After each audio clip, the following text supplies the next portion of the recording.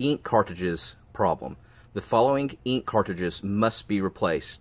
So this is the error I'm getting on my ink for my HP Envy printer. But again, this will probably work with any HP printer that you have this error with. So I want to show you how to get rid of that problem.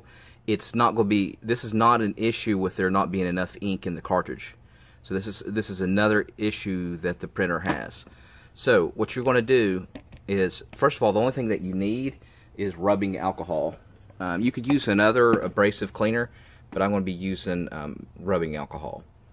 So it's very simple to do. So what you're going to do is you're going to unplug the printer while it's still on on the back of the printer, not on, not where the power adapter or the electrical outlet is. You're going to unplug it from directly from the printer.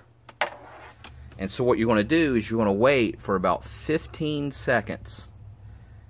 And you're to and you're to wait and you're to wait. And then after that, you're to unplug it directly from its electric outlet. Yes, I know it's messy. All right, you're to wait another 15 seconds. Okay, just me doing that simple trick of first unplugging the power adapter from the printer, waiting 15 seconds, and then disconnecting from the AC adapter, and then plugging it back in, that fixed my problem. So you can see here it says load plain paper. So that did fix my problem. But I want to show you another step to do if that doesn't work. A lot of times when you get that error, it's actually the ink cartridge. It's actually the color cartridge that's not working any longer. Um, and the black is still fine.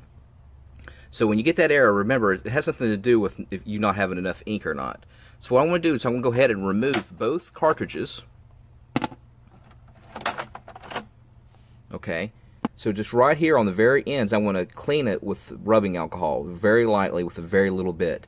Make sure that there's no ink on the side of the cartridges as well.